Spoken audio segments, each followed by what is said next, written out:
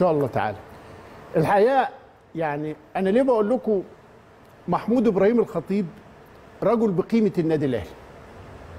يعني أنا أنا شخصيا كنت أتمنى إن إحنا ما نكونش قاعدين في قناة الأهلي عشان نحاول ندي هذا الرجل جزء من حقه الإنساني قبل الرياضي لأنه حتى إذا كان الجزء ده إنساني الجزء الرياضي يا جماعة مهم جدا وبيجي بسلوكيات طبيعية مش بادعاء ولا بكلام. يعني كابتن الخطيب بيحضر مباراة الأهلي والزمالك في كرة اليد بنات.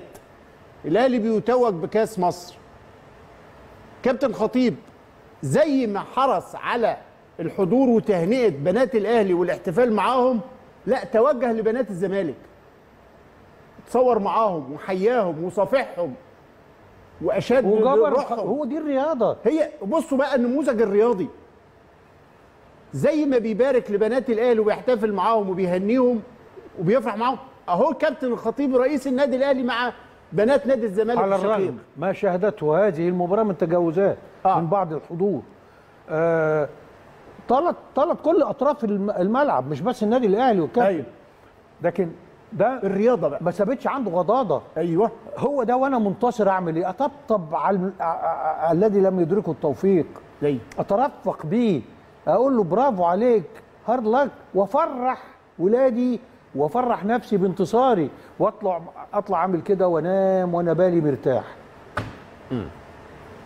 ويحيي كمان بنات سبورتنج اللي خدوا الميدالية البرونزية في كرة اليد ويحتفل مع الثلاثه يعني زي ما بيفرح ببنات الأهلي وبيبارك لهم ويهنيهم بيشد على إيد بنات الزمالك وبيشكرهم. على مجهودهم وبيحيي بنات سبورتنج هي دي الرياضة وهي دي العلاقة سبورتنج والزمالك وغيره اتساق مع النفس دي آه. ثقافة دي فلسفة مش بيعملها هنا عشان حاجة محددة دي ثقافة آه. إن. أنا إزاي أترفق بين أيام ما خد إيد الكابتن حسن شحاتة وراح للجمهور أيوة، أيوة. هو متسق خطوات متسق مع مكانه اللي هو النادي الأهلي م. مع ثقافة المكان اللي هي ثقافته وثقافة النادي الاهلي متسق مع أخلاقياته ونفسه مفيش تعارض.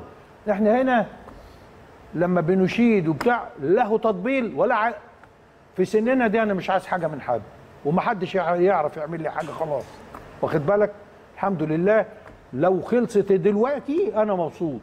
بنديك الصح ما أنا بقول لك لو خلصت بالتقاعد لو خلصت ب... ب... ب... بإرادة الله لو خلصت بأي حاجة لكن أنا بقول الكلمة دي عشان دي دي بتنور الطريق أمام ناس كتير جدا. هذا النموذج اللي عايزينه يستمر مش التجاوز وأخذ الحقوق بالعنف والضغط والابتزاز.